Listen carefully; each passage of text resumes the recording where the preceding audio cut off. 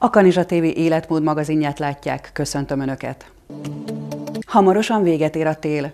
Tavasszal nem csak a természet újul meg, hanem szervezetünk is felébredt téli álmából. Az első napsugarak megjelenésével fokozottan ügyelnünk kell a bőrápolásra, elsősorban a fényvédelemre.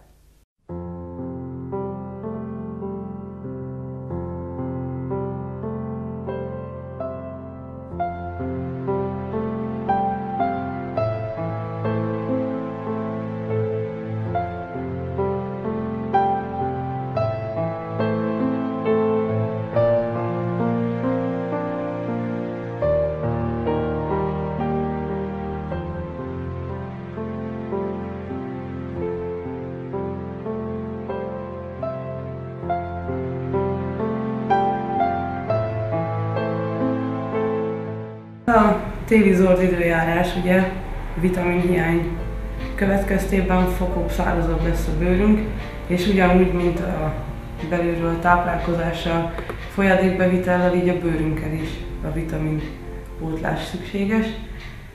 Ezért fontos elsősorban a bőrnek a radírozása, ugye az elhalt hámréteget eltávolítjuk, és utána a hidratálás, csináltam a Beán egy ultrahangkezelést, ezzel mélyebbre jutottam a hatóanyagot. Már 23 éves kortól el kell kezdenünk a bőrünket ápolni, mivel nem elég már akkor, amikor a ránc megjelenik, hanem ezt megelőznünk kell. Tehát 23 éves hölgyeknek már ajánlom, hogy kezdjék el ápolni a bőrüket. Először a fiatalabb korosztálynak a gélt ajánlom, idősebb korosztálynak a krémet, Ugye a gél az még nem annyira erős, mint a krémekben ugye már erősebb a hatóanyag. Amikor már megjelenik a ránc, akkor ugye azt már eltüntetni nem lehet, csak megelőzni. Ezért ajánljuk már 23 éves kortól. Fontos-e a mindennapi arctisztítás? Most nem csak arra gondolok, hogy szappannal, tusfürdővel lemossuk az arcunkat, hanem esetleg más komolyabb tisztítást is igényel a bőr. Így van, arctej, arcradír és a tonik használata az nagyon fontos. És miért van ezekre szükség? Hát elsősorban az arctejjel ugye letisztítjuk a szennyeződést, az arcradírozással ugye az elhalt réteget, és ez ugye megvan, hogy mennyire problémás a bőrünk. Ha nagyon problémás a bőr, akkor ugye hetente többször, kétszer, háromszor is, ha kevésbé, akkor elég csak egyszer ezt a radírozást, de ez muszáj. Tehát ezáltal jut utána be a anyag igazából. A sminkeléssel mi a helyzet? Mondjuk a, a téli-tavaszi időszakban milyen smink ajánlott? Én a sminkelést azt ugye úgy kezdeném, hogy az alapozót azt kizárnám, mivel az a legkárosabb, nem hagyja levegőzni a bőrünket, ezért inkább egy színezett hidratálót ajánlanék, és nem vinném túlzásba a sminkelést, tehát egy színezett hidratáló, egy szájfény, egy szemhétus, úgy érzem, a kevesebb, néha több. Az arckezelés után hallgassuk meg, mit mond a bőrgyógyász kozmetológus szakember. A tavaszi felkészítése a bőrnek az nagyon fontos, hiszen a tavasszal látjuk a legtöbb fény okozta, napfény okozta bőr problémát. Érdekes módon ezek nem a nagy nyári melegben jönnek ki, hanem télen ugye hosszú ködös, borús időszak alatt elszokik egyszerűen a bőrünk az UV-sugárzás okozta hatásoktól, és az első tavaszi napsütés során, amikor mindenki örömmel kimegy a tavasszal a természetbe, akkor látjuk azt, hogy bizony, hát nagyon sok ilyen fotoallergia, fény okozta autoimmunbőrbetegség és egyéb napfénykárosodás tüneteivel jönnek a páciensek. Tehát érdekes módon tavasszal jobban oda kell figyelni a fényvédelemre tulajdonképpen, mint nyáron, mert a legtöbb bőr probléma, a napfény okozta bőr probléma az ilyenkor jelentkezik. Az otthoni bőrápolás során érdemes tavasztól már azt a szabályt betartani, hogy a nappali, fény, nappali arckrémünkben mindig legyen fényvédő.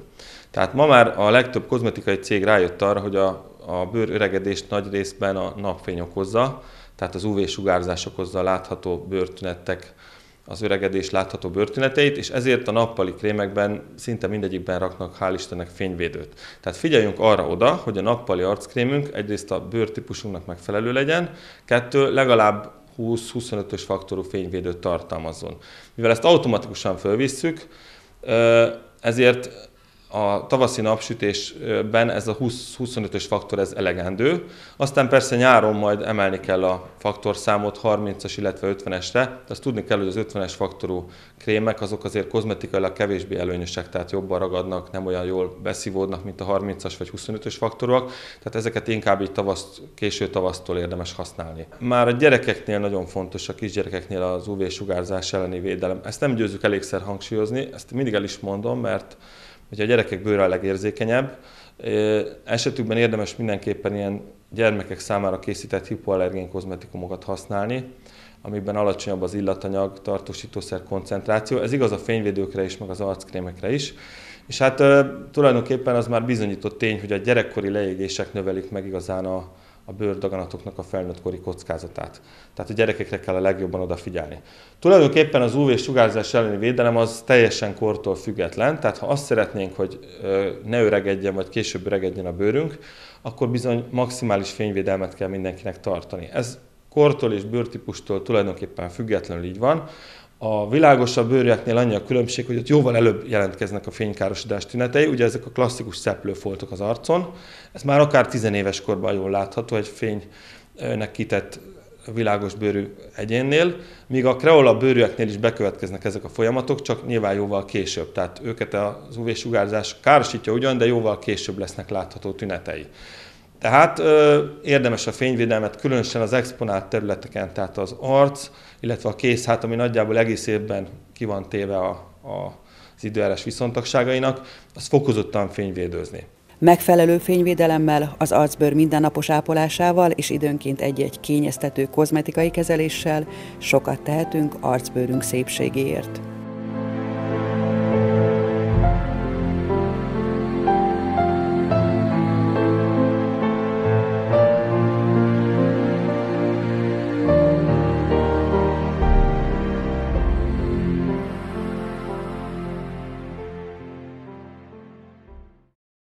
Tejfehérje allergia, tejcukorérzékenység, lisztérzékenység, tojásallergia, szójaérzékenység. Sajnos egyre gyakrabban halljuk ezeket a kifejezéseket.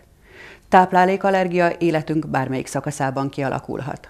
Ami az egyik embernek táplálék, az a másik embernek keserű méreg, mondta Titus Lucretius, római költő és filozófus. Életünk során mintegy 100 tonna élelmiszer halad át a gyomor-béltraktuson. Így nem csoda, hogy ilyen nagy mennyiségű táplálék közül egyik-másik kellemetlen tüneteket okoz. Az allergiát az, az elfogyasztott táplálék váltja ki az emésztőrendszerben, illetve a bőrön fog jelenként mutatkozni az allergiának a tünete. Az emésztőrendszerben okozhat hasmenés, hányás, pufadást, és még egyéb más gyulladásokat. A bőrön bőrelváltozásokat okozhat, kiütések, pattanások, hámlások, apró pöttyök, bármi utalhat, csalánkiütésszerű foltok, bármi utalhat ételallergiára, táplálékallergiára. De elsősorban arra kell törekedni, hogy meg kell találni, hogy melyik az a táplálék, amelyik okozza ezt az allergiát, ez nem olyan egyszerű, hiszen nagyon sokféle táplálékot fogyasztunk egy nap, és ez akár a második vagy harmadik napon is okozhat problémát. Nem biztos, hogy az adott táplálék közvetlen elfogyasztása után jelentkeznek ezek a tünetek. A téli vitaminszegény táplálkozás következtében az immunrendszer védekező képessége is csökken. Tavasszal nem csak a ruhatárunkat kell lecserélni, hanem szervezetünket is fel kell készítenünk az évszakváltásra. Minden esetben nagyon fontos a D-vitamin pótlás, ugye, ami a nyár után elég hamar kívül a szervezetünkből.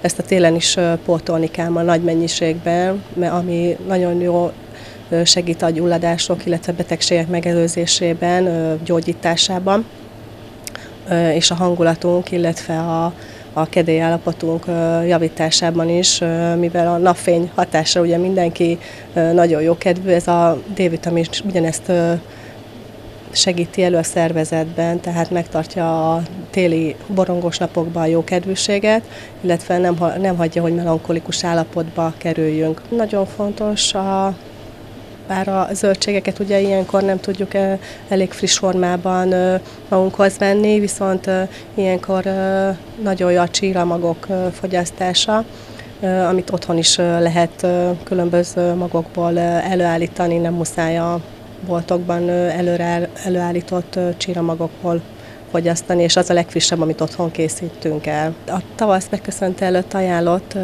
naponta egy-egy lébölgykúrát beiktatni, és segíti a méreganyagok kiürülését, amit a téli, téli idején a mozgásszegény illetformával együtt begyűjtöttünk. Ilyen zöldséglé, a céklalé, savanyú káposztalé, ezek nagyon hasznos, jótékony hatással vannak nem csak az emésztőrendszerre, hanem a, a vérre, a vér, vérpótlásra. Aztán gyógyteákból pedig a csalánlevél, ami nagyon jó méregtelenítő, salaktalanító tea, illetve ciszkafarteát is hetente egyszer javasolt inni.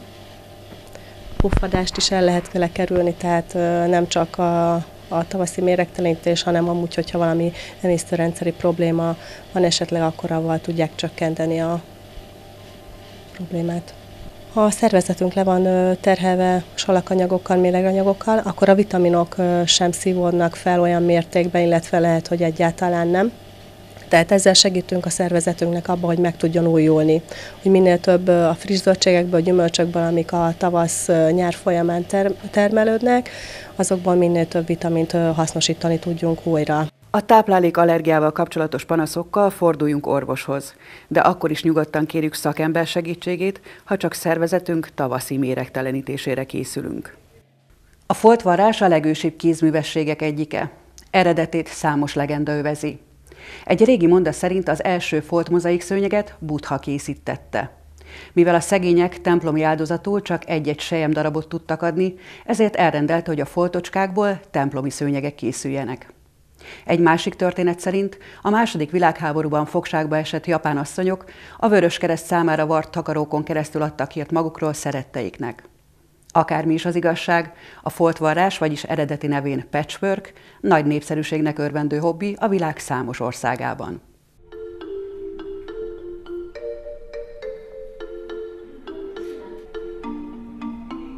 A patchwork jelentése foltvarrás, foltmozaik, foltmunka. Készülhet belőle használati és dísztárgy is. Ez a kézműves technika a kreativitásban nem ismer határokat. Megfelelő kézügyességgel és fantáziával akár művészi alkotások is születhetnek belőle.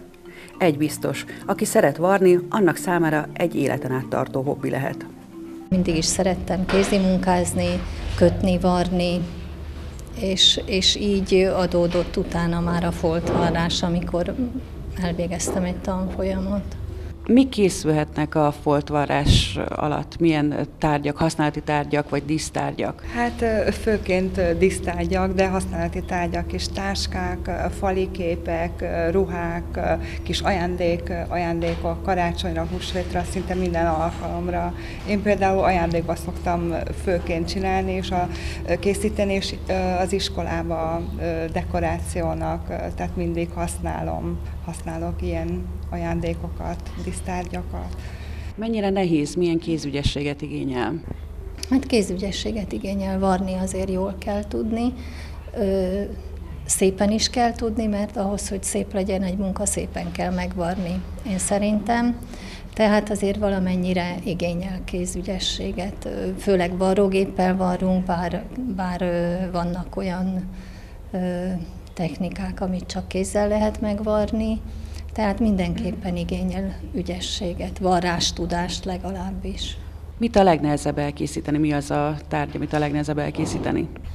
Ó, ez nagyon nehéz kérdés, mert hát erre nem is tudnék ö, ö, talán ruhákat, amit a legnehezebb, mert ahhoz kell egy kis előképzettség, de, de igazából, ha szeretne valamit az ember megcsinálni, az mindent el lehet készíteni, egyszerűbben is, bonyolultabban is. Milyen szempontok alapján választják ki az anyagokat, mit, hogy melyik mivel passzol, vagy hogy párosítják össze? Maradék anyagokat használnak, vagy pedig előre megtervezik a, azt a dolgot, amit elkészítenek? Használunk maradék anyagokat, új anyagokat, nagyon szép és nagyon drága patchwork anyagok léteznek, nagyon bő a választék, de, de természetesen minden felelhető helyen vásárolunk anyagot összepárosítani színek szerint, anyag szerint. Az anyagnál nagyon fontos, hogy ne nyúljon az anyag, tehát tartós, jó, jó tartóságú pamutanyag legyen, hogy ne nyúljon mindenfele, hogy megtartsa az arakját, a formáját, amire kiszabjuk. És hát, hogy szép legyen, passzoljon egymáshoz. A munkától is nagyon függ, hogy mit készítünk belőle, tehát az, az is szempont.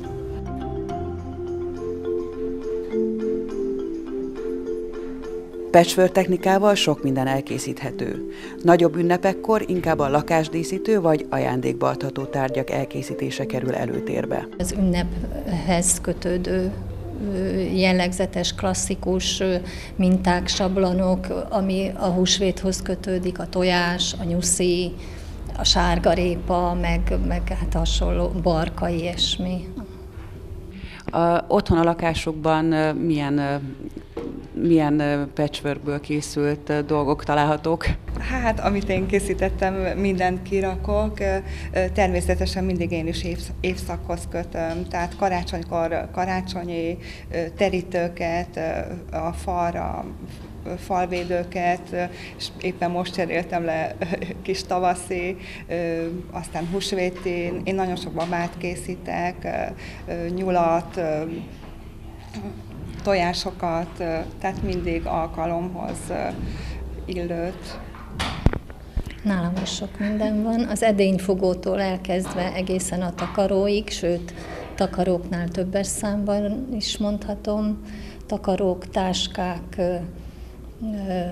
karácsonyi diszek, szívecskék, ahogy mondtam, edényfogó kesztyű, hirtelen ennyi, ami eszembe jut, de sokkal több minden is van.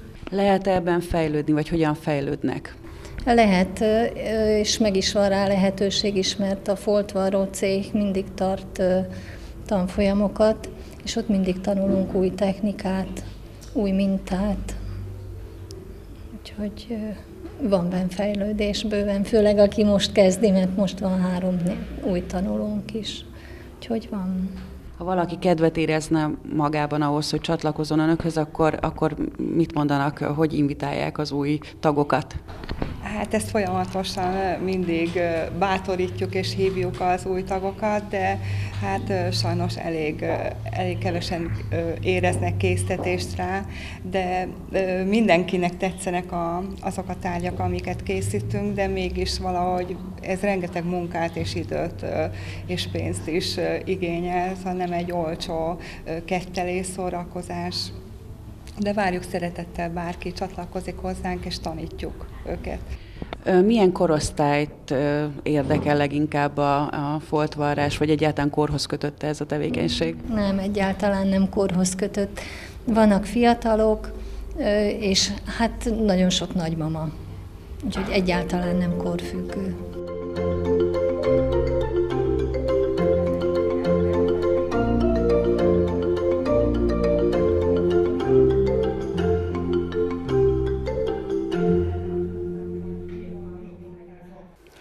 Sportolni vágyók rengeteg mozgásforma közül választhatnak. A klasszikus sportágak mellett a fitness is számos lehetőséget tartogat. A zumba a fitness ágazatok egyike. Érdekessége, hogy az aerobikot latin táncokkal ötvözi. A zumba az 1990-es években terjedt el, világhódító körútjára Kolumbiából indult, jelentése is egy kolumbiai szlengből származik. Nagykanizsán több korcsoportnak is tart edzést, Kárász Tíme a Fatima zumba oktató.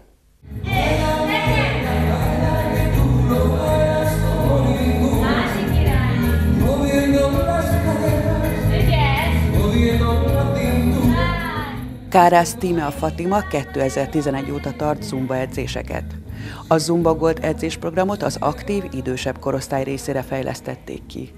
A Honvéd kaszinóban csütörtök délelőttönként az 50 év feletti hölgyeket várja. Több mint öt éve, januárban volt öt éve, hogy elmentem Budapestre erre a zumba képzésre, mert megláttam az interneten, hogy mennyire nagyon-nagyon szeretik ezt a fajta mozgásformát. Nálunk akkor még eléggé ismeretlen volt, főleg ugye itt vidéken, és megláttam, és láttam, hogy mennyire boldogok az emberek. Ez, ez tűnt fel legelőször. A tánc is persze, de, de az, hogy mennyire vidámak, és mennyire szinte parti jellegű az egész tánc, az egész mozgásforma, és úgy döntöttem, hogy elmegyek és megpróbálom én ezt, és ugye elvégeztem ezt az instruktorképzőt, és azóta hát egyfolytában mennyire lehet az ember képezi magát és táncol. A zumba maga a világtáncok és a fitness keveréke, és engem a tánc, a tánc ragadott meg, a tánclépések, a csacsacsa, a szalsza, a rumba, ahogy gyönyörűen fölépíti a fitness lépésekkel, fitness, tehát összekeveri a lépéseket, és nekem ez feltétlen a tánc, mert nagyon-nagyon szeretek táncolni, mindig is szerettem. És úgy gondolom, hogy ezt próbálom átadni a, a, azoknak az embereknek, vendégeknek, akik eljönnek hozzám.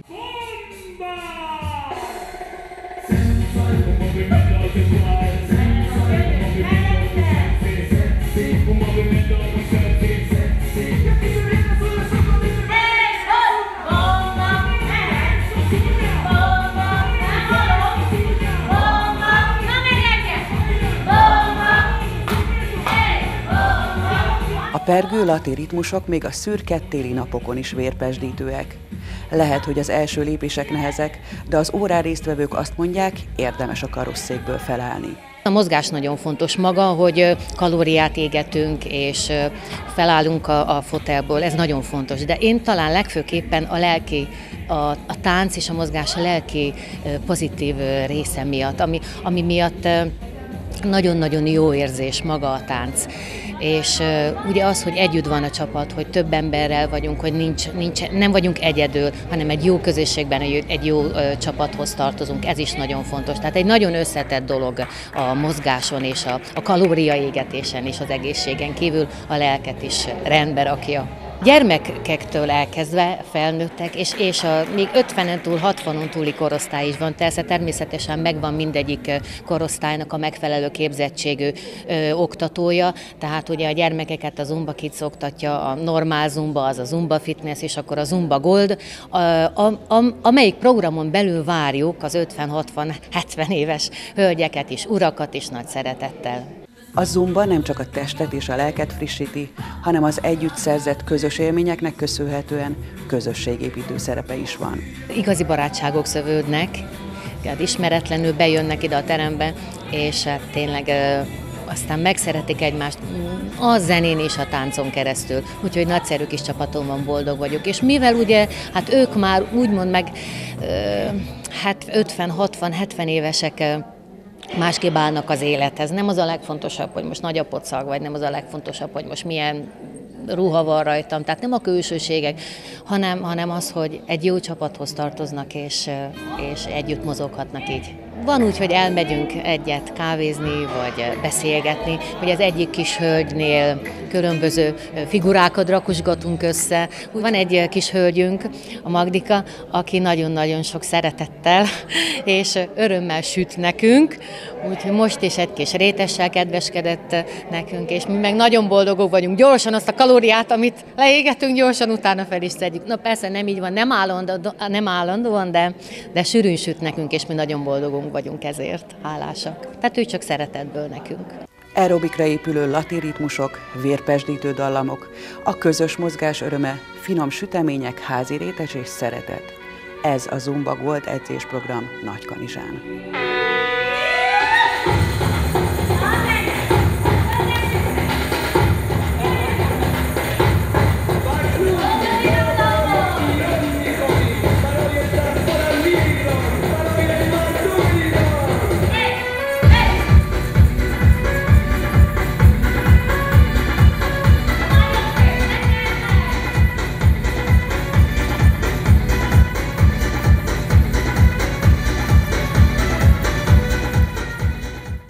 Magazinunk végén munkatársaim nevében is köszönöm megtisztelő figyelmüket. Két hét múlva újabb témákkal várjuk Önöket. Tartsanak velünk akkor is, viszontlátásra!